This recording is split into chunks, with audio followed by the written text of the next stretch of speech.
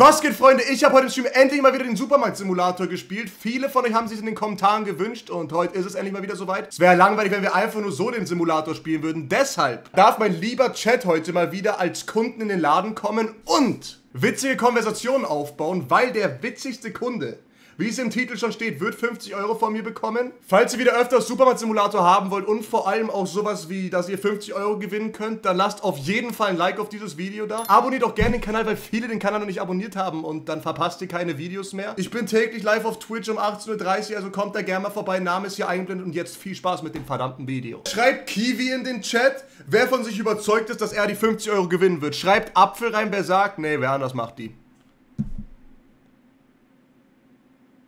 Chat, nur einer, nur einer kann sie gewinnen. Nur Chat, fünf, ich weiß wie viele Zuschauer wir sind, aber 500 Leute könnten reinkommen, dann wird's ausgelost, wer kommt, Chat. Also ein bisschen Glück müsst ihr haben. Okay, in der Zeit, Chat, ich muss natürlich für euch erstmal die verdammten Regale ein bisschen auffüllen, okay? Geh auf Werkzeuge.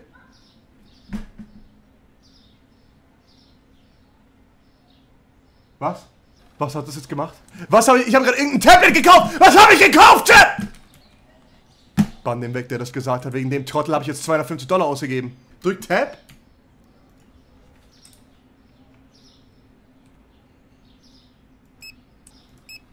Oh mein Gott, ist das crazy. Und dann kauft es sich automatisch. Yo, ich nehme alles zurück, modde den Typen doch. Wie viel habe ich jetzt? Muss passen! Passt schon, Chat, alles easy. Kein Geld für die Scheiße jetzt erstmal. Cooler Eintritt, da denkt man, oh, was ist denn das für ein reicher Supermarkt? Geht rein und dann sieht man, ach du verdammte Scheiße, wo bin ich nie gelandet? Ähm, Puderzucker noch, aha, weil falls jemand hier noch einen Kuchen backen will, man weiß ja nie, Chat, bald ist auch wieder... Was ist denn bald? Halloween. Wer backt an Halloween Kuchen mit Puderzucker? Sieh? Okay. Ferrari! Hier, hier, sie wollen bestimmt hier. Und wir haben gerade Corden 4K einen verdammten Mord erlebt. Ja, GG. Und die Tore sind geöffnet, Jack, kommt rein! Kauf 2, Zahl 3 ist mein Motto hier im Laden. Wir haben beide auch den Laden neu umbenannt zu dem 1-Cent-Shop. Das ist nämlich schlau, Chat. Versteht ihr? Ich erkläre euch jetzt, was dahinter steckt. 1-Cent-Shop aus folgendem Grund. Die Leute denken, alles kostet nur einen Cent. Was aber nicht stimmt, weil der Name steht dafür. Zahlst du mit einem zu hohen Schein, kriegst du alles in 1 Cent Münzen zurück. Versteht ihr das, Chat? Und der erste von euch kommt Julik SCM. Ennis Loco kommt. Ja, und Sie wollen nicht in meinen Laden, hä? Sind Sie von der Konkurrenz? Von dem mit dem großen P, der an der Reeperbahn steht, oder was?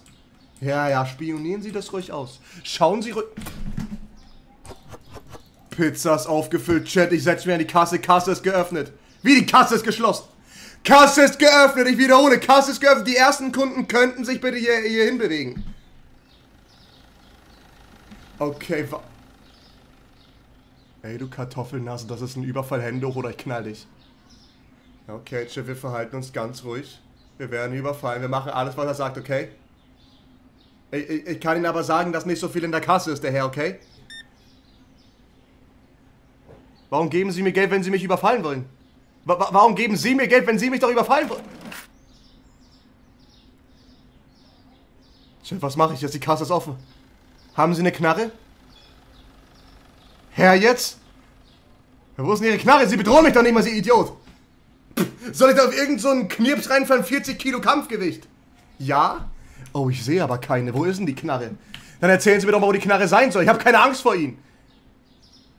In meiner Hose. Wissen Sie was, was sollen Sie dagegen tun, hä?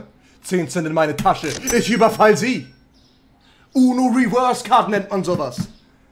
Würde lieber Angst haben? Ja, da gehen Sie ruhig weg. Von da draußen spucken Sie weiter große Töne, Sie Idiot.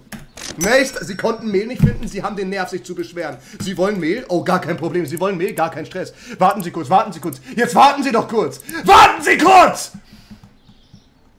Verdammte Mehl. Gib mir das Mehl. So, Sie wollen Mehl haben? Wissen Sie was? Sie beschweren sich in meinem verdammten Laden. Dann hören Sie mir mal zu, Pampelmuse. Hier haben Sie einen ganzen Kasten Mehl. Was führt Sie um 8 Uhr in der Früh in meinen Laden? Dass Sie Tiefkühlpommes kaufen. Ich muss los, hab ein Date mit einem anderen Arbeiter und der hinter mir ist ein Mörder. Chad achtet, der ist ein Mörder. Wir haben Mörder im Laden, okay. Sind Sie von der James Bond Kooperation oder was? Security-Firma. Woher wissen Sie die Information? Warum haben Sie ein Date mit einem Mitarbeiter von mir? Jetzt warten Sie mal. Wer ist der Name von dem Mitarbeiter? Hä? Wer ist es? Er meint, dass du das Date bist? Auf Wiedersehen, der Herr. Und Sie sind jetzt hier eine Mörderin, oder was? Nennen Sie mir Rosa Laser, nennen Sie mir einen Grund, warum ich Sie nicht verpfeifen soll an die Polizei. Nennen Sie mir einen Grund, warum ich Sie nicht verpfeifen soll die verdammte Polizei.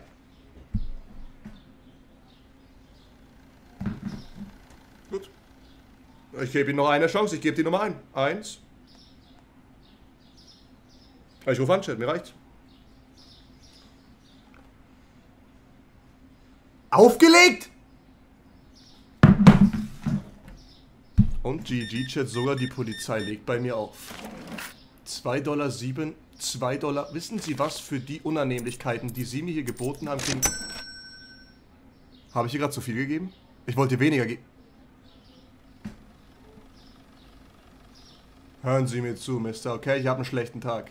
Sie wollen sich zweimal Sprite kaufen? Wollen Sie die Banane Sprite Challenge machen, oder was? Wie heißt eine Kuh bei ein Erdbeben? Milkshake. das aber wirklich nicht schlecht. Haben Sie noch einen auf... Haben Sie noch einen auf Lager? Sagen Sie, haben Sie noch einen auf Lager? Okay, den Namen merke ich mir auf jeden Fall. Der war nicht schlecht. War ein guter Kunde. War ein guter Kunde. Bis dann, der Herr. Ne. Oh, das wird nicht gut enden. Oh, das wird nicht gut enden. Zweimal so... So, Kollege Schlittschuh, da Sie schon bereits letztes Mal kein Gönnergy hatten, habe ich die Bremsscheiben aus dem Auto ausgebaut. Bin mal gespannt, wie es sich wäre. Sag mal, wollen Sie mich verdammt nochmal, äh, wollen Sie mir einen Bären aufbinden oder was? Wie, Sie haben mir die Bremsscheiben aus der Karre rausgenommen? Wegen dem verdammten Gönnergy. Ich habe hier weit und breit keine Beschwerde bekommen, dass hier irgendwie Produkte in Sortiment aufgenommen werden. Jetzt gucken Sie sich doch mal um. Sie können hier eine Billig-Cola kaufen hinten im Kühlschrank. Und jetzt werden Sie auch noch frech. Jetzt hören Sie mir mal zu. Jetzt hören Sie mir mal zu. Hä? Mr. James Bond von Wish. Im Anzug. Hä, wofür tragen Sie einen Anzug? Es hat 1030 Grad. Freibadwetter. Und Sie kommen hier mit einem verdammten Anzug rein. Wenn Sie nicht wollen, dass ich mir verdammt nochmal Sie vielleicht vorknöpfe, okay? Und Sie Ihr blaues Wunder erleben. Dann beruhigen Sie sich ein bisschen. Ich habe hier immer noch das Hausrecht. Ich drehe wirklich noch am... Ra Ach. Mein Kollege steht bereits an Ihrem Auto. Gleich haben Sie keine Scheibenwisch...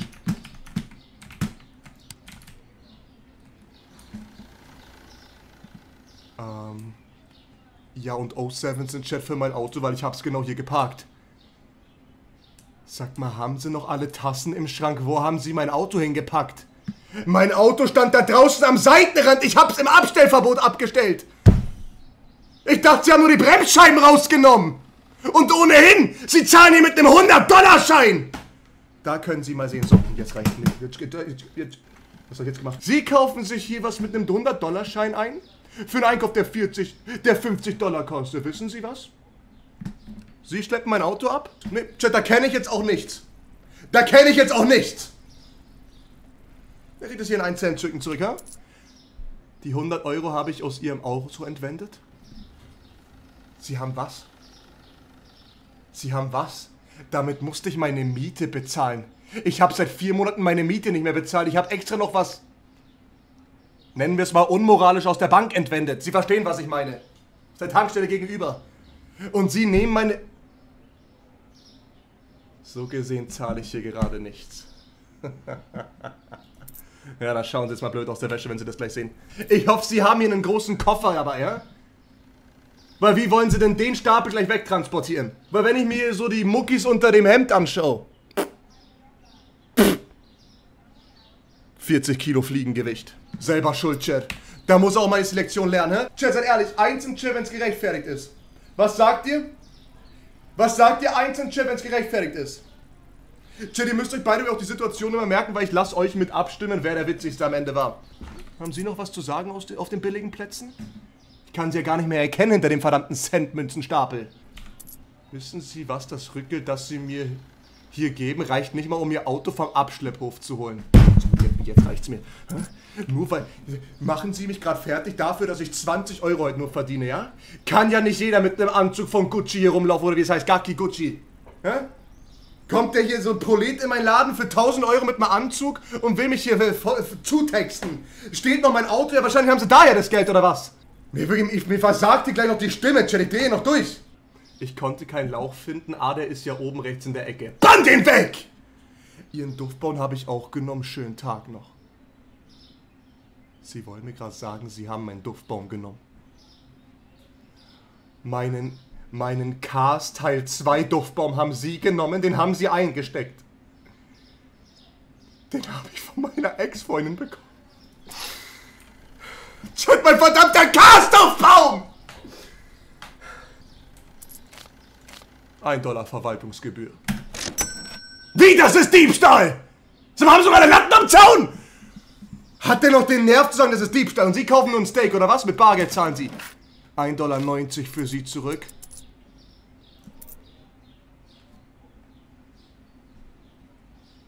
Was haben Sie da gerade gemurmelt? Was haben Sie da gerade gemurmelt? Ich soll mal schneller machen? Na, dann hören Sie mir mal zu. Granny. Wie alt sind Sie? 80 Jahre? Bis Sie von hier aus dem Laden draußen sind, laufen alle Harry Potter Teile ab. Und verziehen sich auf meinen verdammten trottligen Laden. So, hier mit Bargeld wieder ein Dollar für Sie zurück. Haben Sie irgendeine... Schneller?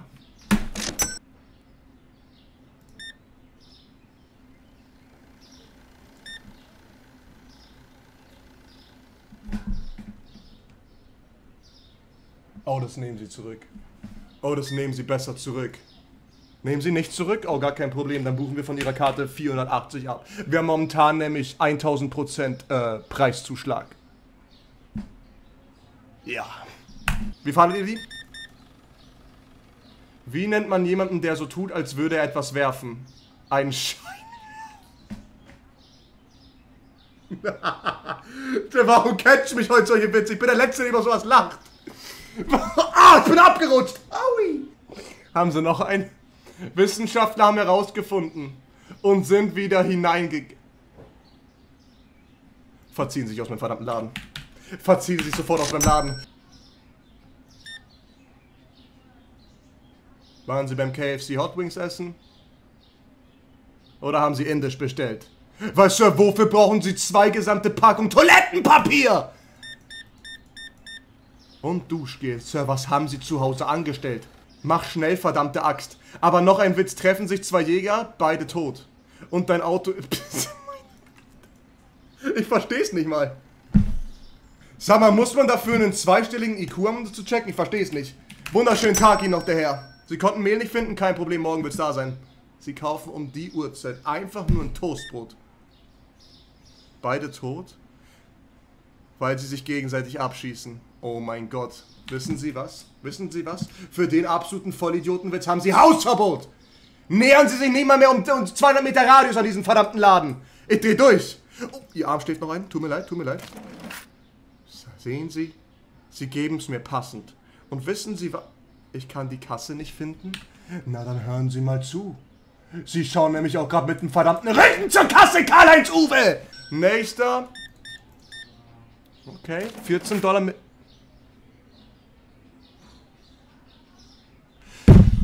Sie geben mir für einen 14 Dollar Einkauf einen 100 Dollar Schein. Sagt mal, wollen Sie mich verdammt nochmal verarschen? Haben Sie alle Latten am Zaun? Was ist das für eine Bananenfrisur auf dem Schädel bei Ihnen? Oh, Sie werden Ihre Lektion lernen, okay? Was ist das denn für ein schlechter Laden? So, jetzt Schlunzpiepe, hä? Sie haben allen Ernstes den Nerv hier zu sagen, was das hier für ein schlechter Laden ist. Hä? Spritzen Sie mal lieber weiter was in die Lippen, okay? Ich drehe noch durch. Ihr, ihre Nummer würde ich aber trotzdem nehmen. Und Sie können schon mal Ihre Bodybuilder-Kollegen rufen. Sie 40 Kilo Kampfgewicht, hä? Ich bezweifle, dass Sie die Ärmchen haben, um so viel Centmünzen zu tragen. Ich meine, der Laden heißt nicht ohne Grund. Der 1-Cent-Shop. ich habe Sie vorgewarnt, Chat. Die Kunden sind selber schuld. Das steht auch beide in den Nutzungsbedingungen. Und wer so absolut blöd ist, Chat, und darauf noch reinfällt, weiß ich auch nicht. Ich hoffe, Sie lernen daraus Ihre... Ich sehe die nicht mal mehr hinter dem Stapel. So klein sind sie. Und? Suchen Sie schon in der Tasche, ob Sie vielleicht doch Ihre Karte dabei haben, hä? Zu spät nennt man das. Sie werden, ja, dann schauen Sie ruhig ins Nichts. Schauen Sie ruhig raus. Dann kommen Sie nämlich erstmal nicht raus. Dann kommen Sie erstmal nicht raus. Sie sind jetzt hier erstmal gefangen. Ich drehe noch durch. Geht der Stapel wieder aus dem Dach hoch? ja! Warte mal, wie hoch geht der? Oh, Sarah hat nur so aus. Ich dachte, er geht bis ganz hoch. Seht ihr den Stapel? Direkt links neben dem Punkt ist der Stapel. Man sieht ihn ganz leicht, Chad. Er geht mal wieder raus. Er geht mal wieder raus, hä? Schiefen Turm von Pisa nach... Was ist eigentlich mit meinem Arbeiter los? Schläft er da auf dem Boden? Ja, mal... Wird's bald, ich bezahl sie! Ich drehe noch durch. Okay, Chat, Zeit für Mathematik. Damit ihr euren Eltern auch noch sagen könnt, ihr lernt hier was. Wechselgeld 85 Dollar und 60 Cent. Wir haben ihr aktuell gegeben 85 und 59 Cent. Wie viel fehlt noch, damit wir ihr den gesamten Betrag geben? Wie fehlt noch, Chat? Schreibt's rein. 1 Cent? 1 Cent? Falsch, Chat. Wir scammen die Leute. Ich hoffe, das ist eine Lektion für Sie. Haben Sie mich verstanden? Ach, gehen Sie weg. Wissen Sie was? Hausverbot. Hier, hier. Wie ist mein Mitarbeiter Fritz? Fritz, schreib's auf die Liste. Sie waren... Warum sehe ich so ein gut aussehender Mann an der Kasse? Oh, sorry, meinte nicht den Lauch an der Kasse, sondern jemand anderen. Seien Sie leise! Ich drehe noch durch. So, und Sie haben jetzt hier Ratten gefunden, oder was? Dann hören Sie mir mal zu. Okay? Hören Sie mir mal zu. Ich schiebe Ihnen jetzt unter der Hand meine Nummer durch. Melden Sie sich bei mir, weil, wenn Sie wollen, dann kann ich auch für Sie, dann, dann, dann kann ich auch die Ratte sein, verstehen Sie? Also, dann Verkackt schon. Elris, Elris, Elris, Elris! So, und Sie haben jetzt hier eine große Schnauze oder eher eine große Lippe, hä? Komm, sagen Sie es mir. Hä? Sagen Sie es mir.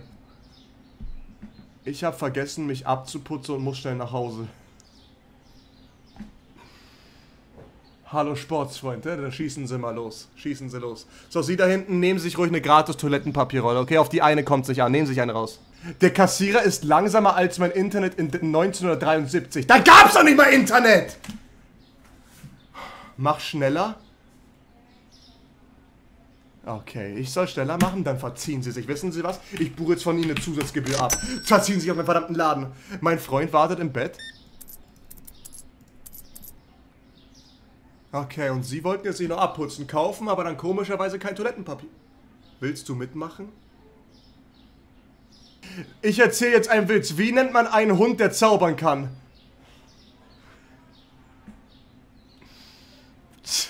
Warum kennst du mich als solche Jokes? Ich habe noch nie in meinem Leben über sowas gelacht. Ich mein's wirklich ernst. Ich hab noch nie... Warum lache ich über sowas? Okay, Pizza, nächste, aha, Barge. Ich, ich, ich sehe mal nicht, was. Was macht ein Pirat am PC? Sagen Sie es nicht. Sagen Sie es nicht. Sagen Sie es nicht. Sagen Sie es nicht. Sagen Sie es nicht. Verziehen Sie sich aus meinem verdammten Laden. Oh, nach dem Witz haben Sie allen Ernst den Nerv für einen 20-Dollar-Einkauf mir einen 100-Dollar-Schein wiederzugeben. Nein, Chat, es ist jetzt das letzte Mal für heute, ich drehe durch. Nein, nein. Wissen Sie was, Sie sind eine ganz witzige, hä? Hauen Sie erstmal einen Joke raus. Hauen Sie erstmal einen Joke raus. Yo. Okay, Sie werden jetzt die Lektion lernen, Chat. Ne, da krempel ich mir jetzt auch mal die Ärmel hoch. Ne, mir reicht's, Chat, oder? Da, ne, Chat, jetzt hört mir mal ganz genau zu, jetzt reicht's mir. Ja. Ich sehe Sie ja gar nicht mehr hinterm Stapel, hä? Verstecken Sie sich nicht. Schauen Sie euch weiter beschämt auf den Boden. Gibt's ein Problem, Schmalspur? Oh, oh. Sie rufen jetzt besser Ihre Bodybuilder-Freunde, die diesen Stapel ins Auto schleppen. Hab Unterarme, die du nicht hast? Seien Sie leise! Respektlos, den noch durch. Ich nehme mir 1 Euro Verwaltungsgebühr, okay? Und jetzt verziehen Sie sich, Sie haben Hausverbot. Nächster. Wie, das ist Diebstahl! Nächster! Steak wollen Sie? Ja, oder Karl-Heinz. Gehen zwei Zahnstocher in den Wald, treffen sie einen Igel, sagt der eine Zahnstocher, ey, ich wusste gar nicht, dass hier ein Bus fährt. Schreibt einer noch hahaha in diesen Chat, bann ich ihn weg. Ich wollte, den, ich wollte in den Origami, das ist japanische Fallkurs. Natürlich weiß ich, was es ist. Kurs gehen. Cast kannst du aber knicken. So, verziehen Sie sich jetzt hier raus. Nein, mir reicht's jetzt hier.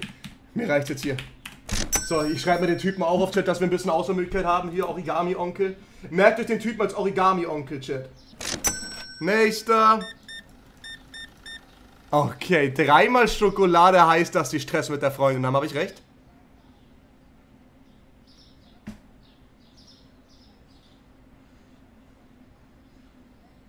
Ich hab sie nicht mal angefasst!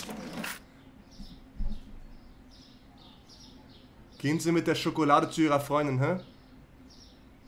Gehen Sie dahin und biegen Sie wieder alles gerade. Weil jetzt hören Sie mir mal zu. Hä? Der Grund, warum Sie sie bald verlieren werden, der bin ich.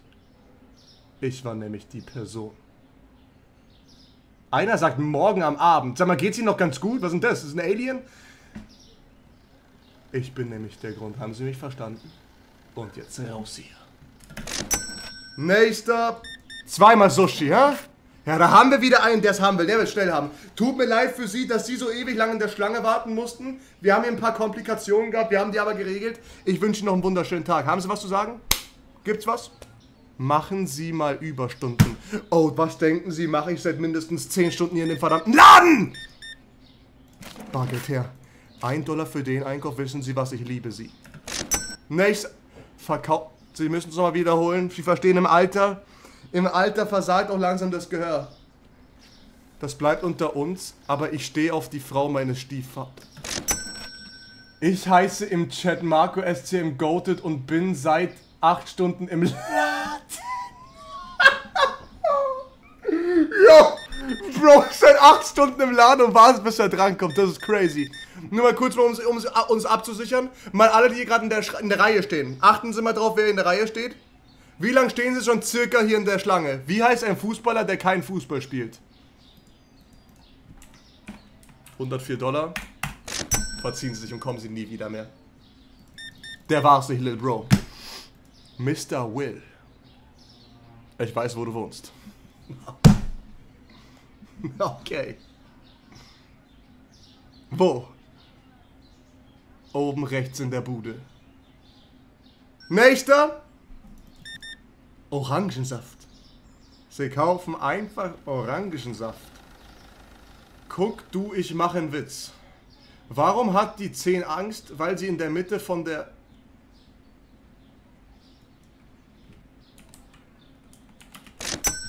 Chat, wenn man 50 Euro für den schlechtesten Kunden am Tag geben würde, wäre es er. Geld her oder ich schlag dir in deine Knie. Verkauf meine Knie. Oh, ich habe wirklich einen Dachschaden, ich meine ernst. Warte mal, ich merke gerade, dass mein Chat einen Dachschaden hat.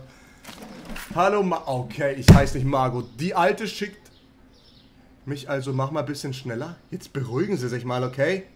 Ich komm schon in die Pötten. So. Wissen Sie was? Waren Sie nicht der, der meinte, machen Sie eine neue Kasse auf? Dann kommen sie, na hör mal, dann kommen sie jetzt mit Clippergeld nach Hause. Haben sie mich verstanden? Da fallen ihnen ja glatt die Haare aus. oh, die sind ja schon weg. Na. Raus hier. So, und sie waren jetzt die Person, die sich hier die ganze Zeit aufgeregt... Naja, den Nerv habe ich jetzt nicht. Als letzten Kunde habe ich jetzt den Nerv nicht. Wissen Sie was? Die 3 Cent sind Verwaltungsgebühr. Ach, wissen Sie was? Ich gebe Ihnen noch einen Glückscent. Vielleicht haben Sie dann endlich mal Glück im Leben. Verziehen Sie sich! Umfrage ist live, ihr dürft abstimmen, Chat. Wer war der witzigste? YouTube, ihr könnt es auch gerne in die Kommentare schreiben, wer ihr sagt, wer der witzigste war. Chat, ich sage, es ist Kazuya mit einem verdammten Autodieb. Es ist verdammt nochmal Kazuya mit einem Autodieb, glaube ich. Ich glaube, das, ist, glaub, das ist eine eindeutige Abstimmung, Chat. Chat, es waren wirklich witzige Witze dabei, aber Autodieb war wirklich eine kranke Konversation, sag ich ehrlich. Das war, das war wirklich, das war wirklich, das war wirklich eine kranke Konversation. Ja, Chat, ich glaube, das ist einstimmig. Ich glaube, das ist ein einstimmiges Ding.